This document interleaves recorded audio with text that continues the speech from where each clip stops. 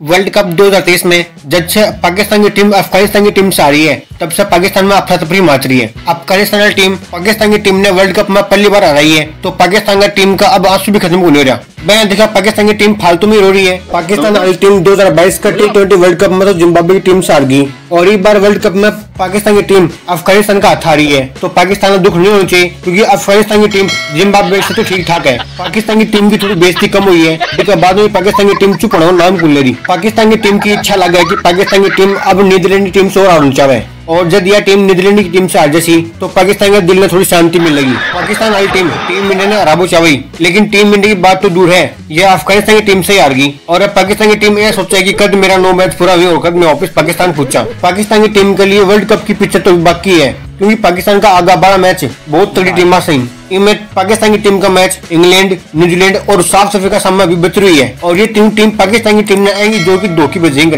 कि पाकिस्तान की टीम आगे से जब भी इंडिया में आएगी तो सोच समझ के आएगी लेकिन लेकिन इस सगड़ा कांड के बीच में पाकिस्तान आड़ा सबको सो दोस्त बाबर आज़म के सीट पर मंड दियो। पाकिस्तान में पूरी मीडिया पाकिस्तान के कप्तान बाबर आज़म की कप्तानी पर सवाल उठा रही है। और सगड़ा लाग रहा है कि पाकिस्तान की कप्तानी बाबर आज़म सब छीन लेनी चाहिए।